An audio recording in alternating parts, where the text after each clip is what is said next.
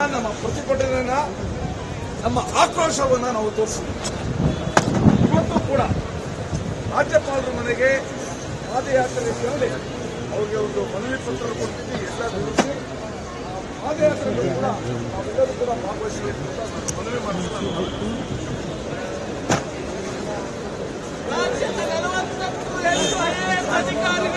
take some hard decision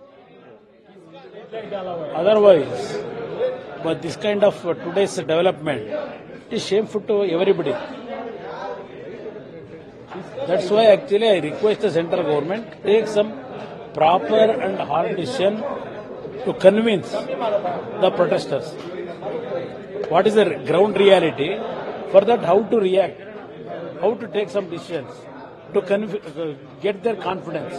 For that, they have to work out. Sir, you're going to meet the governor, so along with the Today, today we are meeting along with BJP friends only. We are meeting governor. speaker met in the morning, said that we have uprised and he has not, nothing wrong he has done.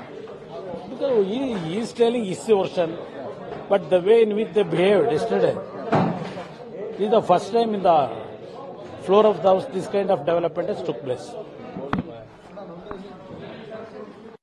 Sir, you are going to Raj Bhavan.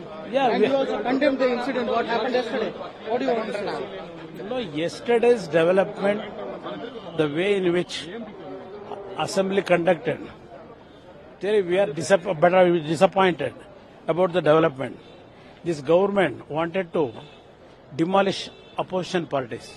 For that, actually, we also join hand with BJP to work together on the floor about the Congress misdeeds. For that, we are going to meet governor also. We will give a memorandum to the governor. Congress is saying it is the beginning of the coalition of JDS and the BJP. No, whatever they wanted to assume, they can uh, free to assume everything. Sir, what is your uh, petition saying with the governor? sir? What is the Now, the way in which uh, this government is running, constitutionally they are not properly giving any respect.